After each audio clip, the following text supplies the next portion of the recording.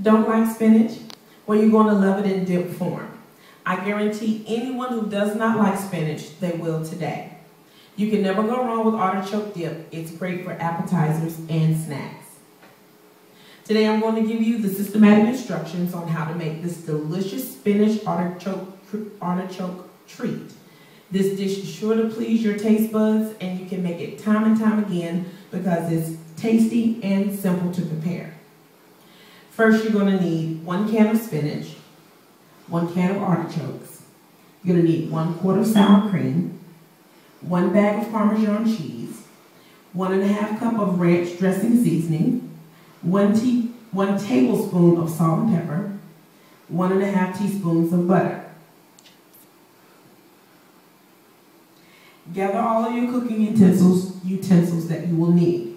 You will need a mixing bowl, mixing spoon. You will need a medium-sized cooking pot and a strainer. Now we'll mix our ingredients together. First, you will combine your artichoke, your spinach, your butter, salt, and pepper into the medium-sized cooking pot. Stir to make sure all of the ingredients are mixed. Let ingredients in the pot simmer for 10 minutes. When the food is done simmering, pour it into a strainer. Let it drain for five minutes. Mix and stir remaining ingredients into your mixing bowl. You will combine your sour cream, your ranch dressing seasoning, and your Parmesan cheese into the mixing bowl. Combine and stir all ingredients together in the mixing bowl, mixing very well. Once combined, you may chill your dip in the refrigerator for an hour if you like it cold. If you don't like it cold, you can also use it baked. Um, use all of the ingredients as stated prior. Preheat your oven to 350.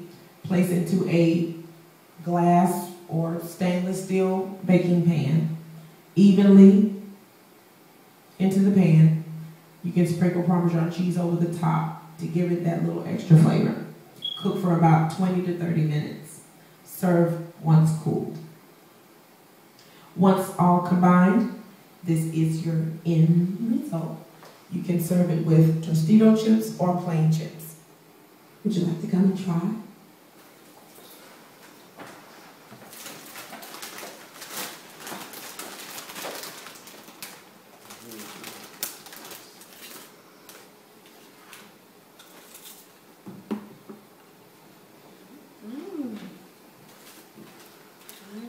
In hmm. conclusion, through these few steps, you have witnessed how simple and easy it is to prepare spinach artichoke dip. Therefore, there cannot be any excuse for those last minute snacks or times when you just want something different. Hope you enjoyed.